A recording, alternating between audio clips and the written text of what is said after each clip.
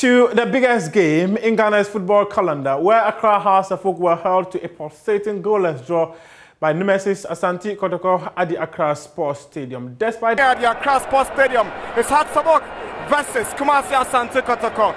My name is Nana Dakwa Jesse, together with Astrom City of Philip, of your commentators for this game here in Accra.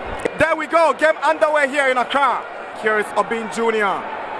Lovely control on the left foot. Good back you from Barnieh. Here is Awako. He wouldn't be beaten at the near post attack. He beats Mohamed Al Hassan to it.